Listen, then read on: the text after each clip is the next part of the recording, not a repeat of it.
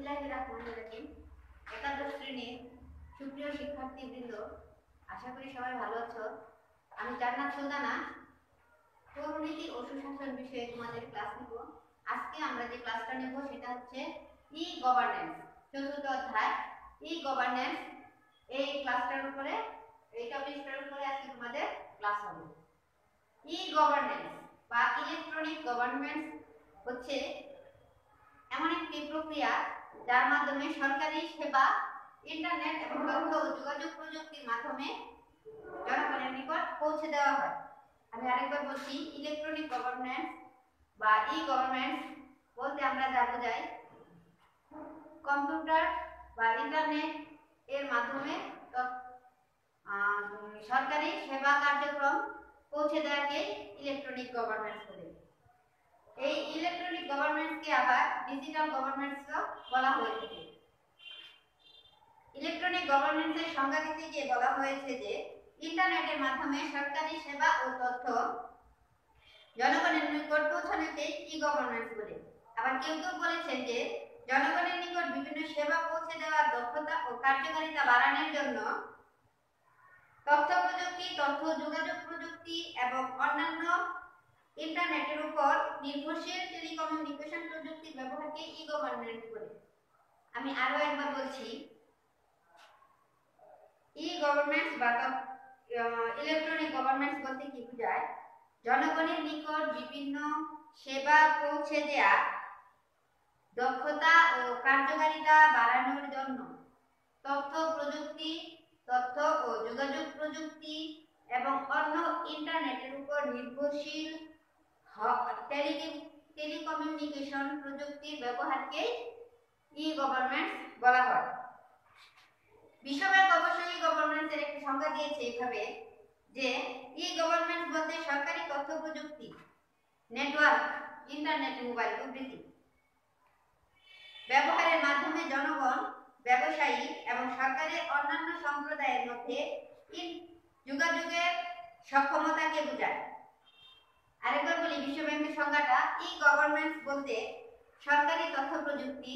সরকারি তথ্য প্রযুক্তি এখানে আসছে মোবাইল ইন্টারনেট এবং কম্পিউটার এটি ব্যবহারের মাধ্যমে জনগণ, ব্যবসায়ী এবং সরকারের অন্যান্য সম্প্রদায়ের মধ্যে যোগাযোগের সক্ষমতাকে বোঝায়।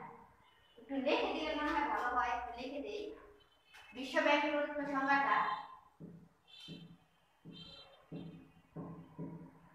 বিশ্ব ব্যাংক মতে বিশ্ব ব্যাংক এর মতে কি বলছে? সরকারি তথ্য প্রযুক্তি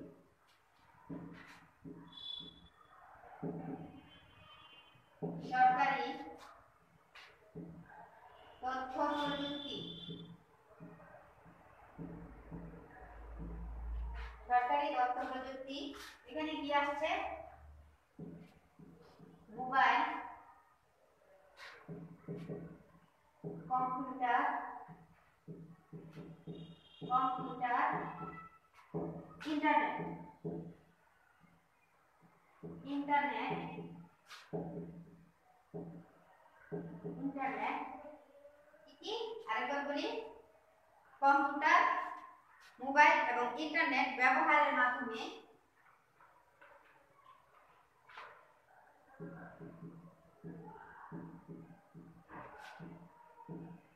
প্রভৃতি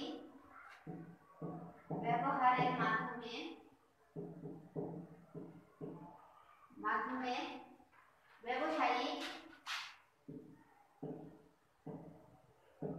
ব্যবসায়ী জনগণ এবং সরকারের এবং সরকারের বিভিন্ন সরকারের বিভিন্ন দপ্তরের মধ্যে দপ্তরের মধ্যে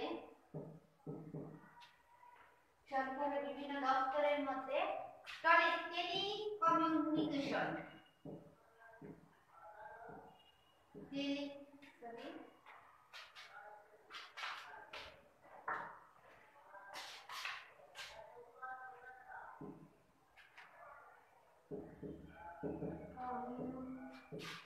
কমিউনিকেশন বাড়ানোর দক্ষতা। টেলিকমিউনিকেশন বাড়ানোর দক্ষতা। মাধ্যমে। সেবা পৌঁছে দেওয়াকে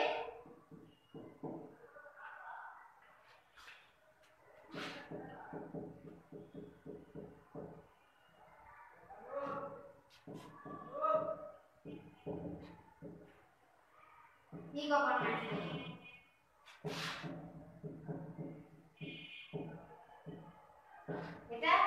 হচ্ছে জাতিসংঘ অবশ্য দুই হাজার ছয় সালে একটি সংখ্যা দিয়েছিল। জাতিসংঘ দুই হাজার ছয় সালে ই গভর্নেন্সের যে সংখ্যাটা দিয়েছিল, সেটা হচ্ছে সরকারি তথ্য ও সেবা ইন্টারনেট এবং ওয়ার্ল্ড ওয়াইড ওয়েব দুই হাজার ছয় সালে জাতিসংঘের যে সংখ্যাটা দিয়েছিল, সেখানে কি বলা হয়েছিল? সরকারি তথ্য, সেবা, ইন্টারনেট এবং ওয়ার্ল্ড ওয়াইড ওয়েবের মাধ্যমে জনগণের নিকট পৌঁছানোর ব্যবস্থাই হলো ই গভর্নেন্স। আবার বলি, দুই হাজার ছয় সালে জাতিসংঘ যে সংখ্যাটা দিয়েছিল, সেখানে বলা হয়েছিল, সরকারি তথ্য ও সেবা, ইন্টারনেট বা ওয়ার্ল্ড ওয়াইড ওয়েব, ওয়াইড বা ডাব্লিউ ডাব্লিউ ডাব্লিউ যেটাকে আমরা বলি। সেটার মাধ্যমে জনগণের নিকট সেবা পৌঁছে দেওয়া কি বলা হয়? ই গভর্নেন্স আমেরিকা যুক্তরাষ্ট্রের গভর্নেন্স আইন দুই হাজার এ বলা হয়েছে যে ই গভর্নেন্স বলতে বোঝায় ওয়েব নির্ভর ইন্টারনেট এবং অন্যান্য তথ্য প্রযুক্তি। তাহলে এ থেকে আমরা কি বলতে পারি? যে পৃথিবীর অনেক রাষ্ট্রের তথ্য প্রযুক্তি যুগ- যুগ- যোগাযোগ নেটওয়ার্ক ইত্যাদির মাধ্যমে সরকারি তথ্য সেবা পৌঁছে দেওয়াকে ই গভর্নেন্স বলে।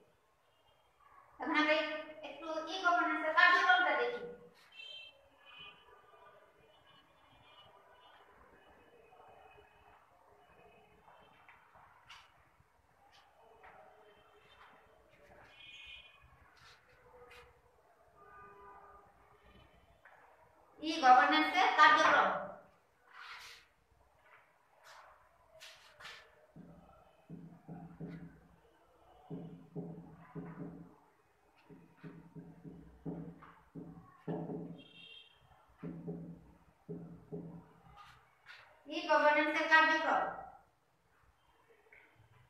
কি কি? এক নম্বর হচ্ছে বিভিন্ন তথ্য ইন্টারনেটের মাধ্যমে পাঠানো। বিভিন্ন তথ্য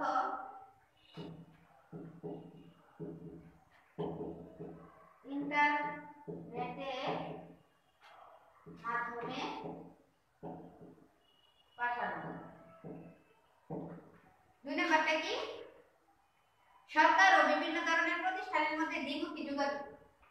সরকার ও বিভিন্ন প্রতিষ্ঠানের মধ্যে দ্বিমুখী যোগাযোগ।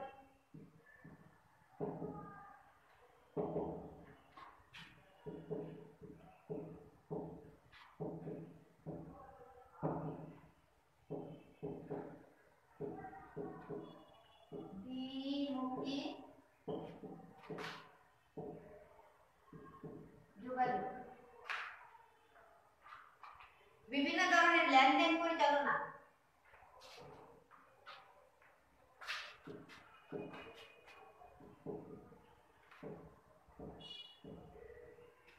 বিভিন্ন ধরনের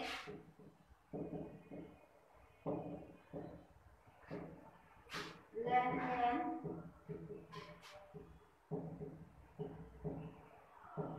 পরিচালনা সরকার পরিচালনার প্রত্যক্ষ অংশগ্রহণ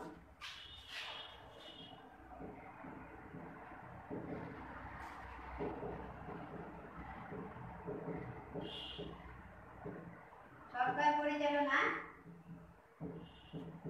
প্রত্যক্ষ অংশ। ই গভর্নেন্স এই কার্যক্রমগুলি করে কি কি বিভিন্ন তথ্য ইন্টারনেটের মাধ্যমে পাঠানো যেমন, নিয়ন্ত্রণমূলক কার্যক্রম, সাধারণ ঝুঁকি, জনগণের নিকট বিভিন্ন ঘটনার দিন, তারিখ, বিভিন্ন ইস্যু, ব্যাখ্যা, নোটিশ প্রভৃতি। সরকার এবং বিভিন্ন প্রতিষ্ঠানের মধ্যে দ্বিমুখী যোগাযোগ এই প্রক্রিয়া যে কোনো ব্যক্তি, যে কোনো প্রতিষ্ঠানের সাথে ইন্টারনেট সংলাপে বসতে পারে এবং তাদের সমস্যা, মন্তব্য ও অনুরোধ প্রতিষ্ঠানকে জানাতে পারে। বিভিন্ন ধরনের লেনদেন পরিচালনা, যেমন আয়কর রিটার্ন জমা দেওয়া, চাকরির জন্য আবেদন চাওয়া ও তা জমা নেওয়া এবং অনুদান চাওয়া ও তা প্রদান করা। সরকার পরিচালনায় প্রত্যক্ষ অংশগ্রহণ। সরকার পরিচালনায় সরাসরি অংশগ্রহণের ক্ষেত্রে এই কার্যক্রম একটি গুরুত্বপূর্ণ ভূমিকা পালন করে থাকে। আশা করি তোমরা সবাই মোটামুটি বুঝতে পেরেছ পরের ক্লাসে আমরা আরও অন্যান্য টপিক নিয়ে আলোচনা করি